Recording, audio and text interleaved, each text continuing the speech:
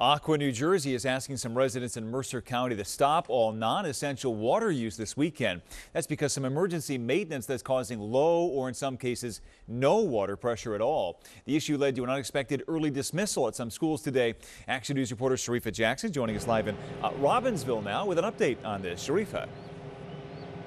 Yeah, Brian, we just spoke to the mayor of Robbinsville Township. He says this is a cause for concern. He even declared a state of emergency so they have access to those state resources if they need them. He says this water issue is not getting better. In his words, he says it's actually getting worse. Now, the issues first began yesterday afternoon, evening time. Residents, they were told that everything would be resolved overnight, but that did not happen. Now, according to Aqua, they had issues with a water well failure during maintenance, and the issue spans beyond Robbinsville and into parts of Hamilton, Windsor, Allentown, Chesterfield, and even Trenton. Water pressure issue so low it caused early dismissal at three schools in Robbinsville. Chopper 6 was over Pond Road Middle School when they dismissed two hours early. And Action News is told the Robbinsville area Amazon warehouse facility was also forced to close. Now, the mayor, David Fried, says he has called in the help of state resources, so planned events tonight and this weekend will not be impacted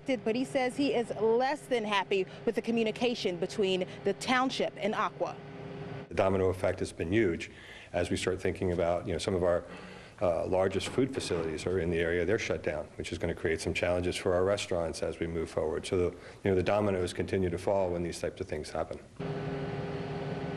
In Aqua, they did release a statement late this afternoon. The statement reads in part, our customers can help the system recover faster by conserving water. Please discontinue non-essential water activities and reduce water usage by taking shorter showers, stopping lawn irrigation, and minimizing the use of washers and dishwashers. Now, Aqua anticipate that pressure will normalize over the weekend, and they say everything should be back to normal by Monday morning. Now, there also is a conservation notice for Bucks County out that way as well, so you could use those same tips. They're dealing with some stream flow issues. We're live in Robbinsville Township. Sharifa Jackson, Channel 6 Action News. Sarah? Yeah, big inconvenience, especially on this very hot day. Sharifa, thank you.